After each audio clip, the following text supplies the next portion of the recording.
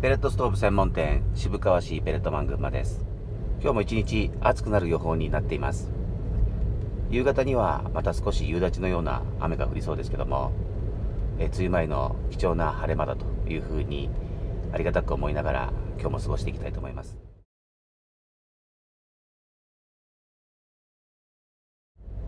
ペレットストーブのシーズンオフメンテナンスもたくさんの、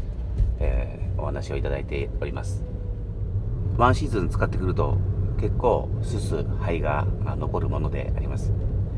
放置をするとそこからまあ錆が出たりとか不具合につながることがあります。シーズンオフメンテナンスをしっかりと行って次のシーズンも快適にお過ごしいただきたいと思います。ペレットストーブ、薪ストーブ、メンテナンス新設設置のお問い合わせは渋川市ペレットマン群馬までよろしくお願いいたします。